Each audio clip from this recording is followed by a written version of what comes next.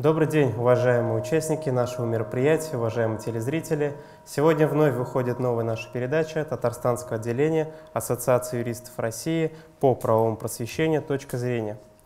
Наступила весна, и для многих наших жителей Республики Татарстан, в частности для садоводов, начнется дачный сезон – и я бы хотел обсудить сегодня очень интересную актуальную тему, связанную с темой «Земля и люди» или что нового в федеральном законе о ведении гражданами садоводчества и огородничества на территории Республики Татарстан.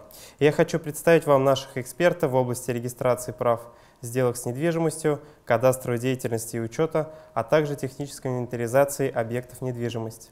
У нас сегодня в студии заместитель генерального директора Бюро технической инвентаризации Республики Татарстан, член Ассоциации юристов России Беглова Гульнара Зинуровна. Начальник отдела государственной регистрации недвижимости физических лиц Управления Росреестра по Республике Татарстан Мухаммед Галиева Энджи Исмагдановна. Хочу напомнить, уважаемые телезрители, участники, вы можете задать ваши интересующие вопросы нашим экспертам, и они ответят на них. Ну, начну я, наверное, с себя, э, на правах ведущего. Задам первый вопрос. А, что вообще нового в данном федеральном законе? Какие новшества ввел законодатель? Может быть, уважаемые коллеги, начнем с вас.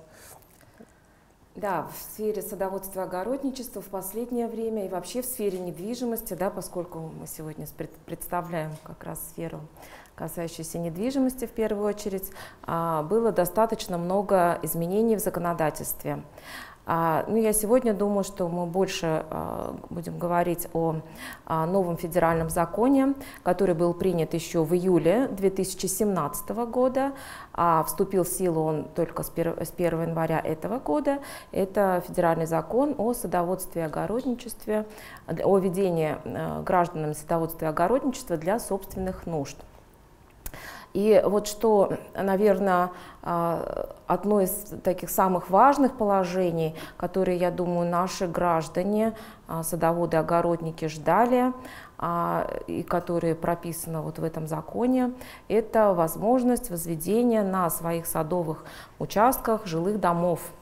Я думаю, что э, наши зрители э, сами являются свидетелями того, да, если есть э, а, садовые участки. Видите, наверное, что а, самые разные дома построены на участках. Есть и маленькие домишки, да, такие, а есть и довольно-таки большие, где люди а, проживают в том числе круглогодично. Так вот, если раньше это было, скажем так, не совсем э, скажем, не, вернее, если э, раньше эти объекты не возможно было назвать жилыми домами, они по э, прежнему закону, 66-му федеральному закону от 98 года имели название жилое строение, такое непонятное, да, что это такое. И хотя было в свое время постановление Конституционного суда Российской Федерации 2008 года о возможности прописываться в таких домах, если иного жилья у гражданин, у граждан нет.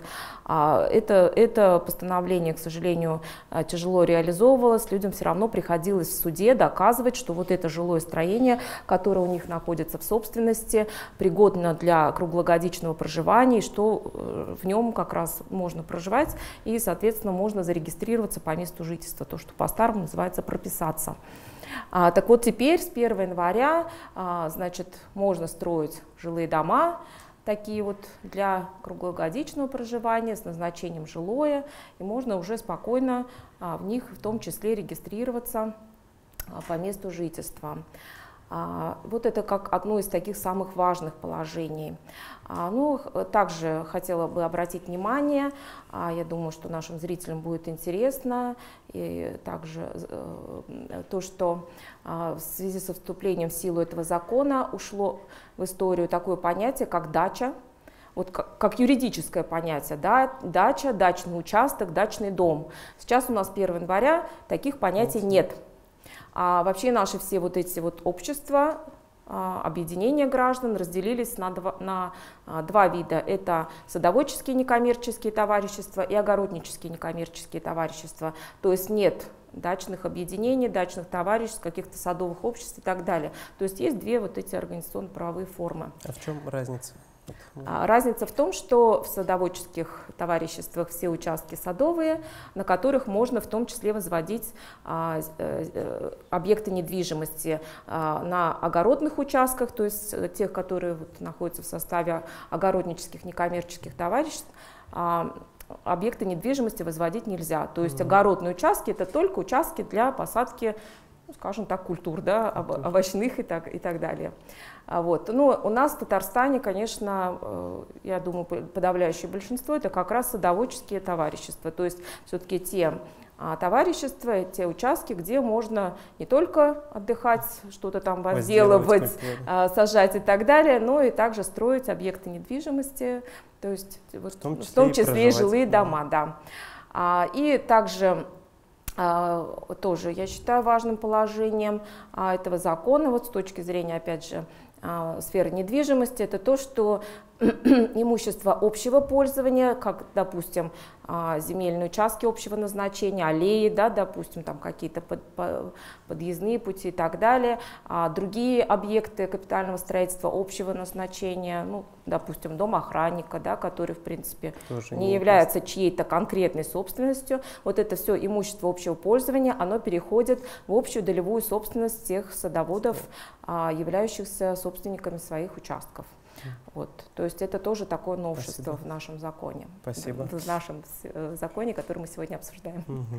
У меня вот еще есть такой вопрос. А вот большинство у нас садоводов, любителей до сих пор еще не оформили свои земельные участки. И вообще, э, как можно оформить земельные участки на СНТ? Что необходимо знать? И, возможно, какие документы и алгоритм действия? Нарзинур, наверное, я вам вопрос адресую. Ну, а, да, действительно, а, есть на сегодняшний день граждане, которые еще не успели оформить земельные участки свои садовые. Вообще, надо сказать изначально, надо начинать с земли потому что пока не оформишь право собственности на земельный участок, как раз-таки вопрос строительства жилых домов, садовых домов, их оформления, это уже вторичное, то есть пока право собственности на земельный участок не возникает, не возникает и право на недвижимость, которая стоит на нем. Соответственно, очень важный момент, который э, сегодня надо знать, это то, что у граждан осталось немного времени, чтобы оформить бесплатно в собственность садовые земельные участки. Дело в том, что э, действующий закон о введении в действие Земельного кодекса Российской Федерации говорит, что до 31 декабря 2020 года э, есть возможность бесплатно оформить в собственность ранее предоставленные садоводческим товариществом земельные участки. Как будет дальше этот закон работать, мы пока не знаем. На сегодняшний день законопроектов, то есть инициированных государством о том, чтобы эти сроки продлить, нет. Будут ли они продлены, э, то есть это нам неизвестно. Поэтому гражданам, которые еще не успели оформить право собственности на садовые земельные участки, сегодня надо поторопиться. Почему? Дело в том, что а, сегодня при выполнении кадастровых работ для цели оформления права собственности на такие участки мы зачастую в 80, даже и больше, возможно, процентных случаях сталкиваемся с тем, что у граждан нет того набора документов, который э, достаточен для беспроблемного оформления земли в собственность. То есть этот э, пакет документов еще надо создавать с помощью кадастрового инженера, без его помощи, то есть разные бывают вариации, но мы понимаем, что это долгий процесс. У людей уходят годы.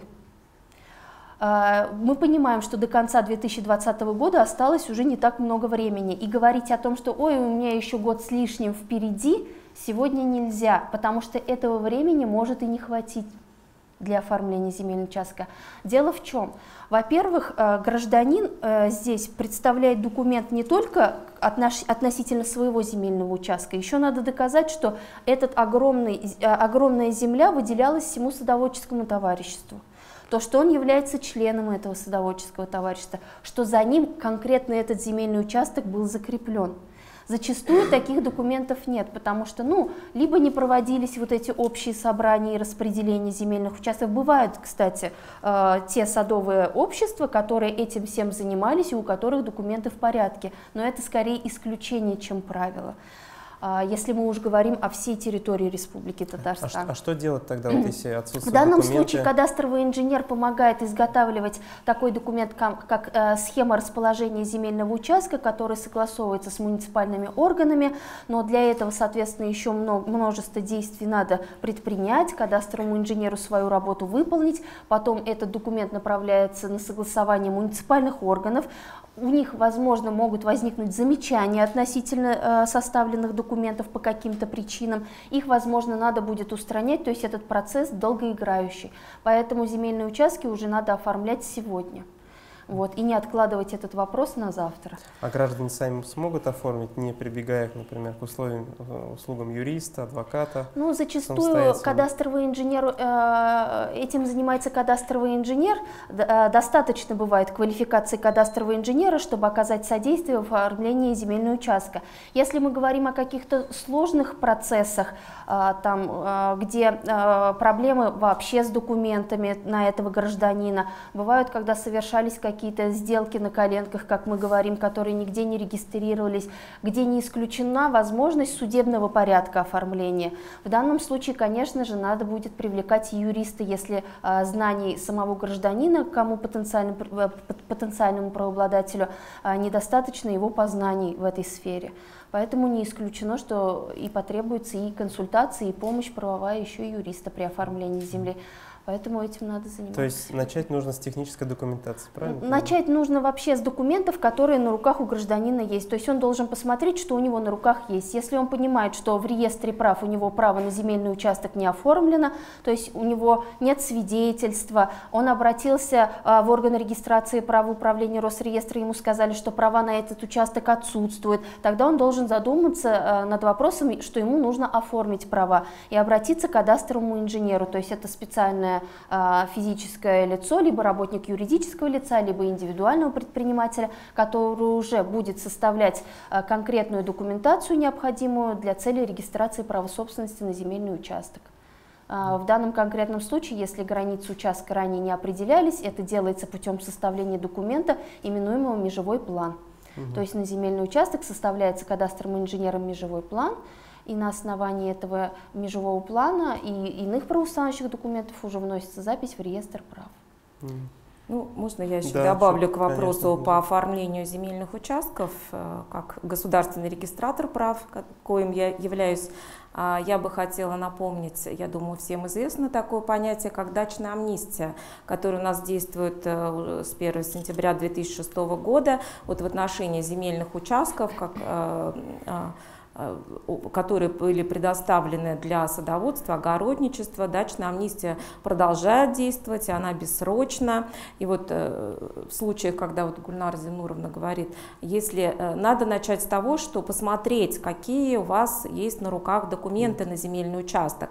И если есть такие документы, как вот те же самые гос, государственный акт на землю, а свидетельство о праве на землю, выданное до 1 января 2000 года до того э, времени, когда образовалась регистрационная палата, а, какие-то еще постановления о выделении земельного участка, да, то как раз в порядке дачной амнистии можно, не обращаясь в исполком, а, то есть не обращаясь за оформление вот этого постановления о бесплатном предоставлении участка, оформить а, в собственность этот участок. То есть вы приходите к нам, представляете этот документ, уплачиваете государственную пошлину, размер ее составляет 350 рублей в соответствии с налоговым кодексом. И мы оформляем право собственности. Если же как раз вот таких документов нет, тогда уже вот по пути, который объяснила Гульнара Зинурна. То есть поторопиться до 31 декабря 2020 года за оформлением постановления о бесплатном предоставлении земельного участка.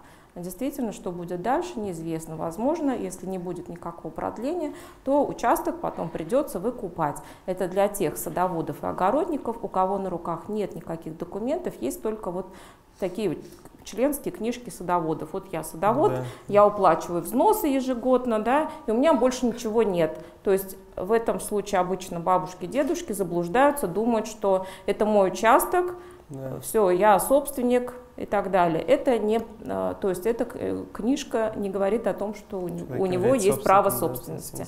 Право собственности, оно, а, как известно, подлежит государственной регистрации, либо оно подтверждается как раз теми документами, которые были выданы а, до 1 января 2000 года. Спасибо большое, Инженер Мадановна. У меня вопрос, возможно, у наших телезрителей, участников мероприятия тоже есть какие-то вопросы. Пожалуйста. Да, можете стать. Я хотел задать вопрос. А, какие объекты недвижимости могут быть построены на садовых земельных участках? Спасибо. Да, как, как я уже говорила, участки, они теперь разделяются на садовые и огородные. И, как я сказала, на садовых участках можно возводить объекты недвижимости. На огородных участках объекты недвижимости возводить нельзя. То есть можно построить только, возвести, вернее, только какие-то временные постройки, которые не являются недвижимым имуществом, которые можно затем убрать сложить, То есть это без фундамента, без основания, да, да то есть э, те, ну, если мы будем говорить о том, что такое объект недвижимости, это объект, ну, вкратце, да, согласно Гражданского кодекса, объект, который прочно связан с земельным участком и который нельзя переместить с одного участка на другой, не причиняя ущерба его назначению. Соответственно, временные постройки, которые не являются объектами недвижимости, это то, что можно ну, какая, допустим, теплица, да, что-то. Это на огородных участках. Объекты недвижимости там строить нельзя. Вот на садовых участках что можно строить? Как я уже говорила, жилые дома, да, с 1 января вполне законно. Значит, э, садовые дома, э, понятие садовый дом дается как раз вот в этом федеральном законе новом, да, о садоводстве, огородничестве. А, э, то есть садовый дом это объект сезонного назначения, нежилого. А, и затем хозяйственные постройки различные и индивидуальные гаражи. Да? То есть можно же построить гараж, куда приехал на свой поставил садовый участок, автомобиль. поставил машину да? для индивидуального пользования. К хозяйственным постройкам что можно отнести? Да? Какой-то хозблок, баню ту же самую. То есть то, все, что вот то есть э, является объектом недвижимости, что можно построить на этих участках. И как я вот, кстати, уже э, говорила, а, забыла отметить, э, я сказала вначале, что нет теперь понятия дачный участок, дачный дом. Вот если у гражданина а, право было зарегистрировано на такой объект, как дачный дом. Сейчас в соответствии с вот этим новым законом дачный дом признается жилым домом. И, в принципе, даже не, не надо менять э, никакие документы. Если было право зарегистрировано на дачный дом, сейчас э, в силу закона это уже жилой дом. Если было зарегистрировано понять, э, право на жилое строение, вот такое вот непонятное, да, которое я говорила до 1 января существовало, теперь эти жилые строения тоже все признаются жилыми домами в силу закона. Угу. Спасибо, спасибо. Да, зачастую да. от граждан вот бывают как раз таки вопросы, и кадастровым инженерам тоже, и УПТИ приходят о том, что вот у меня была дача, что теперь у меня дачи нет, то есть это категорически не так. А, мы, наоборот, граждан успокаиваем о том, что вам даже э, действий никаких предпринимать не надо, но если, конечно, вы хотите, вы можете обратиться с заявлением, чтобы вам наименование объекта поменяли, то есть это делается по заявлению, но такой необходимости закон не предусматривает, потому что это он автоматом уже в силу указания закона эти понятия приравнял. Поэтому обязательного порядка такого нет, но по желанию это сделать можно. Ну, то есть право собственности, оно как существовало на объект недвижимости, так, так, и, так и существует. Просто меняется наименование объекта. Понятие, да? Понятие, ну да, вот это понятие. Спасибо. И земельными участками также, соответственно. Да. То, что э, дачных участков нет, это не говорит о том, что право собственности люди потеряли. Нет, ни в коем случае. Просто они перешли в другую категорию. Они стали садовыми земельными участками. Mm автоматически. Нет. Еще вопросы, гости? Да, конечно.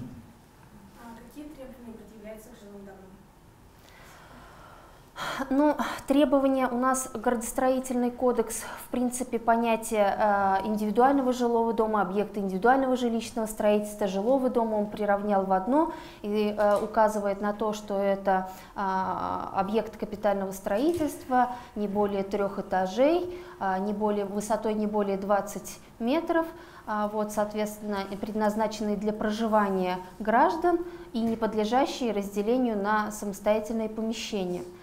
А, что мы из этого, э, э, что можно из этого исходя сказать? э, то, что граждане должны иметь возможность проживать в жилом доме, в индивидуальном жилом доме, в объекте индивидуального жилищного строительства круглогодично. То есть там должны быть соответствующие коммуникации, которые это позволяют сделать, в отличие от садового дома. То есть садовый дом по закону это у нас сезонное проживание. Вот сезон садовый, дачный, как говорится уж обывательски, дачный сезон наступил, поехали в садовый дом, пожили, летний сезон э, садовый закончился, уехали. А жилой дом подразумевает, что мы там круглый год можем жить. То есть какие-то коммуникации там должны быть закон и какие-то СНИПы, нормы градостроительные, они не предъявляют требований, какие именно коммуникации. Мы понимаем, что отапливать дом жилой можно как электричеством, так и газом, так и может быть печное отопление, дровами, дровами пожалуйста, да. как хотите. Валежника главное, разрешили чтоб... собирать, можно Да, главное, чтобы такая возможность отапливать этот дом и круглый год там жить была. Воду вы можете покупать а, туалетом вы можете пользоваться на улице. То есть главное, чтобы такая возможность была. Главное, чтобы в этом доме жилом были помещения для э, готовки пищи, да, там, употребления, для э, непосредственно проживания, то есть это спальни, где вот вы можете отдыхать. То есть вот такие помещения должны минимально быть, потому что требования по СНИПам, они предъявляются, они говорят, что должна быть обязательно кухня, либо кухня-ниша в жилом помещении и комната, как минимум. Вот. А вспомогательные помещения, они могут уже в составе жилого дома быть, либо и за его пределами, это уже как вам угодно. Понятно, что много есть до сих пор неоформленных жилых домов, угу. 80-х, 90-х годов постройки. Ну вот э, в свое время как-то по наследству это все так длилось, длилось, передавалось, и люди сейчас только зашевелились и говорят, у меня нет права собственности на дом. Земля давно еще по выписке из по хозяйственной книги зарегистрирована, например, а право собственности на дом не оформлено. И мы понимаем, что эти дома, они не могут, например, отвечать сегодняшнему понятию коттедж, которое вот у нас понимание есть, да, который сегодня строится со всеми коммуникациями, как положено. Вот. Поэтому единое требование к понятию жилой дом в плане коммуникации законодатель не предъявляет. Вот. Но условия проживания для, для круглогодичного проживания должны быть соблюдены, они могут быть разные. То есть, а у жителей э, садоводов есть такая возможность садовый дом перевести в категорию вот, жилой дом?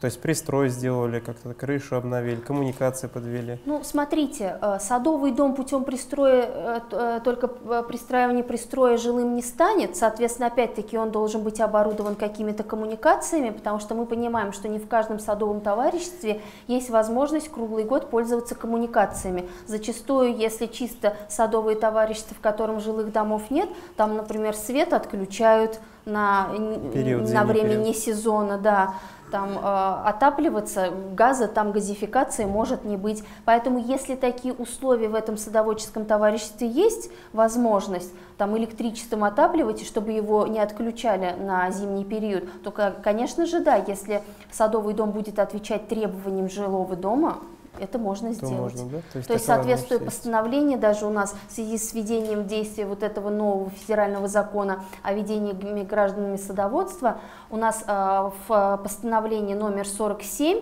а, январь 2006 года а, в этом году были внесены изменения, согласно которым имеется возможность также перевести садовый дом в жилой и наоборот. То есть если кто-то уже давно озадачился вопросом, а, зарегистрировал свой садовый дом и озадачился вопросом тем, как здесь круглый год проживать и это реализовал, то такие граждане могут по определенной законодателям процедуре такой перевод осуществить и уже в реестр прав внести запись о том, что у них не садовый дом, а он уже жилой. Mm. То есть здесь конкретная процедура.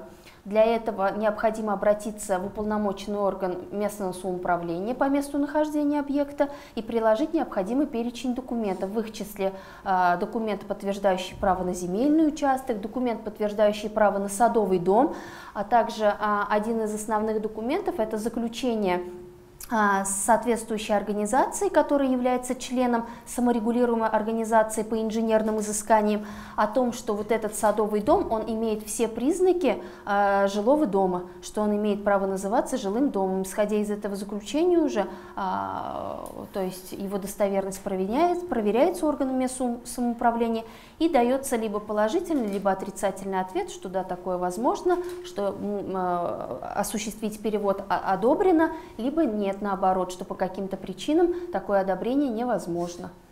Угу. Спасибо за ответ, достаточно содержательный. У меня вот вопрос тогда в связи с этим. А каков порядок оформления садовых и жилых домов на землях СНТ? То есть вот кто-то ну, может... Я, наверное, отвечу. Как я уже говорила, изменений в законодательстве в последнее время очень было много. И как раз вот по, по поводу порядка оформления прав – документов и прав собствен... права собственности на садовые и жилые дома, а, на садовых участках и не только на садовых участках, все, все объекты индивидуального жилищного строительства. А, значит, этот порядок изменился. Он изменился еще с 4 э, августа прошлого года в связи с тем, что в градостроительный кодекс Российской Федерации были внесены изменения. Э, и эм, в связи с этим э, часто вот сейчас слышим, а, ну, что дачная амнистия для этих объектов завершилась. Да, действительно, упрощенный порядок оформления прав на именно эти объекты, садовые жилые дома, а, он завершился, э, поскольку а теперь э, все строительство, начало строительства и окончание строительства таких объектов необходимо согласовывать с органами местного самоуправления, с исполкомами. Что нужно сделать? В принципе, даже если речь идет о ранее построенных домах, но не оформленных. Да? А, можно воспользоваться вот так называемым уведомительным порядком. А, во-первых, э, до начала строительства необходимо э, заполнить, э, есть такая форма, утвержденная приказом Минстроя, а, уведомление о планируемом строительстве. А, необходимо заполнить это уведомление и вместе с правоустанавливающим документом на земельный участок представить в исполком по месту нахождения объекта недвижимости. Исполком, проверив это уведомление на соответствие всем требованиям законодательства, направляет э, заявителю а, уведомление о соответствии планируемого строительства, либо, если что-то не в порядке, то уведомление о несоответствии. Вот если исполком согласовал, да, направил уведомление о соответствии, это значит, что можно строить, что все в порядке. Вот это согласование, оно действует в течение 10 лет. А, значит, после окончания строительства, опять же, нужно заполнить э, форму уведомления об окончании строительства. А и в этом, э, к этому уведомлению об окончании строительства уже необходимо будет приложить технический план, который составляется кадастровым инженером. А, прикладывается, э, оплачивается государственная пошлина за государственную регистрацию права собственности, опять же в размере 350 рублей. А, и э, если потребуется, то иные документы. Допустим, если земельный участок а, в долевой собственности, ну, допустим, у двух лиц, да, то потребуется соглашение об определении долей в праве на построенный жилой дом. А вот этот весь пакет документов, опять же, направляется не к нам, не, э, значит, а в орган местного самоуправления, в исполком, в тот, куда вы направляли уведомление о планируемом строительстве. Исполком проверяет документы уже на э, соответствие требованиям уже построенного объекта недвижимости, и если все в порядке, а заявитель направляет уведомление о соответствии построенного объекта, а э, сам же орган а, вот этот весь пакет отправляет в электронной форме к нам в орган регистрации прав, Росреестр. То есть заявителю уже не надо будет Конечно. к нам идти, подавать отдельно документы на регистрацию права. А, соответственно, мы, получив документы от органа местного самоуправления, ставим этот объект на учет и регистрируем право собственности.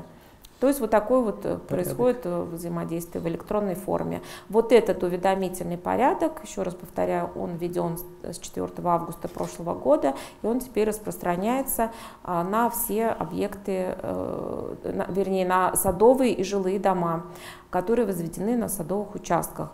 А до 1 марта 2019 года был еще такой переходный период для жилых домов, но, к сожалению, его не продлили, поэтому после 1 марта также в отношении жилых домов действует уведомительный порядок. И, как я уже говорила, на садовых участках можно ведь еще строить не только садовые жилые дома, но еще и а, различные хозяйственные постройки, гаражи. Вот для них как раз уведомительный порядок не требуется, а, то есть для них действует так скажем, упрощенный порядок. То есть составляется технический план на такой объект недвижимости. Если право на землю зарегистрировано, то а, с этим техпланом, опять же с, с документом об уплате госпошлины, а, заявитель приходит к нам. То есть через МФЦ подает непосредственно к нам в Росреестр документы. То есть с исполком согласовывать такие Уже вот объекты вспомогательного назначения не требуется. Угу, спасибо. Вот такой порядок. Спасибо. Хотелось бы еще дополнить по поводу уведомительного порядка. Правильно здесь было сказано о том, что, коллегой, о том, что уже на построенные дома, но которые еще граждане не успели оформить, этот уведомительный порядок также распространяется. И что здесь важно гражданам знать? А, дело в том, что форма, утвержденная форма уведомлений о начале строительства, о завершении строительства, они предусматривают указание планиру, э, параметров планируемой постройки. То есть если у вас уже дом на сегодняшний день построен, но не оформлен, соответственно, вы должны понимать, какие параметры у этого дома. Почему? На дату подачи первого уведомления, на момент подачи первого уведомления о планируемом строительстве, вы должны знать, что после завершения строительства подается уведомление об окончании строительства, и параметры первого и второго уведомления должны совпадать. Mm. То есть если мы подаем о том, что я хочу построить э, дом размерами 9 на 10, двухэтажный, соответственно, то после завершения строительства эти параметры должны также быть отражены в этом уведомлении. И здесь уже э, не получится так, что ну ладно, я здесь напишу, а потом как получится, второе уведомление так по факту и заполню. Так не получается, потому что кадастровый инженер уже выезжает для составления технического плана, и он по факту проводит измерения, и он пишет ровно так, как это э, есть в действительности. И если не сходятся вот эти параметры в первом уведомлении о начале строительства и в последующем о завершении, то тогда необходимо будет еще подавать промежуточное уведомление о внесении изменений в первое уведомление. То есть это достаточно такая, вроде как кажется, сложная процедура, но чтобы ее допускать, что рекомендуем мы, как кадастровые инженеры. Если дом уже построен, но не успели его оформить, лучше, конечно же, вызвать кадастрового инженера и произвести замеры сейчас, чтобы понимать, как правильно заполнить заполнить это первое уведомление, что в последующем уже кадастровый инженер вы, выдал вам э, такой техплан ровно с теми же параметрами, которые были, были указаны в первом уведомлении, чтобы все сошлось, чтобы не было проблем. В любом случае кадастровому инженеру надо будет обратиться, потому что конечный документ, это техплан, его надо будет как раз-таки предоставить в орган местного самоуправления, чтобы в последующем он лег в основу регистрационных действий для органа регистрации прав. Поэтому лучше это сделать с самого начала, чтобы нежели потом опять-таки не ходить в орган а, местного самоуправления, не переписывать уведомления, не вносить изменения. То а есть... а, а если, например, не 9 на 10, а 9,5 на 10, то в таком случае тоже необходимо вносить но... А изначально было заявлено 8 на 9, да, например? Нет, 9 на 10, ну полметра погрешность, например. Да. Ну, если дом уже стоит, конечно же, чтобы это соответствовало, потому что орган местного самоуправления, который будет подтверждать, то есть э, последний документ, который прилагается к техплану и направляется в орган регистрации прав, это как раз-таки уведомление органа местного самоуправления о том, что тот объект, который построен, он соответствует тому, что было изначально заявлено. И то, что было да. согласовано с органом. То есть если какие-то параметры имеют отклонение, орган уже вроде как не должен согласовывать, потому что он же видит, что нет соответствия, что есть отклонение от этих параметров. А есть какие-то санкции, что ли, да? Или ну, как? смотрите, орган ведь он, когда первичное уведомление рассматривает, он исходит из вот этих муниципальных норм. Э, пределы, э, где установлены пределы разрешенного строительства. Угу. Как раз таки вот ваш э, объект, заявленный 9 на 10, он может быть в этих пределах сидит, и отступы от границ земельного участка, заложенные в муниципальных правилах, они соблюдаются. А если у вас 9,5 на 10,5, как вы говорите, может быть уже там и отступы не соблюдены. Угу. То есть это заново надо проверять. Смотреть. Да, и поэтому, чтобы э, вторично органу э, эту работу провести, необходимо заново подать уведомление угу. и скорректировать ранее заявленные параметры. Иначе он э, не может проверку провести и сказать, правильно вы построили или нет, соответствует ваша постройка муниципальным правилам или нет. Э, важно отметить, что как раз-таки городостроительный кодекс говорит, что а, когда подается уведомление о планируемом строительстве, оно, параметры, заложенные в этом уведомлении, как раз-таки проверяются на соответствие, в том числе правилам землепользования и застройки, как мы их называем, э, на территории э, Республики Татарстан. То есть эти правила землепользования и застройки есть в каждом муниципальном образовании. Они утверждены компетентными органами. И в каждом таком э, документе заложены как раз-таки пределы такого строительства. То есть и отступ от границ земельного участка, и предельная возможная высота объекта, этажность. То есть это, исходя из конкретных характеристик земельных участков и территориальных зон, все заложено. Чтобы это не нарушалось, как раз-таки и а, изначально заявляются будущие параметры будущего объекта. Вот.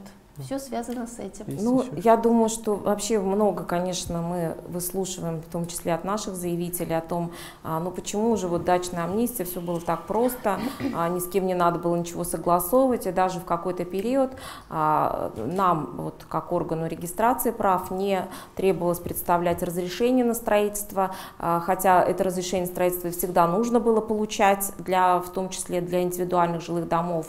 А, то есть государство все-таки должно контролировать, да, что строится, что планируется, э, какое строительство планируется на участках. То есть не, нельзя рассуждать так, вот это мой участок, что хочу, то и строю. То есть у каждого участка есть разрешенное использование.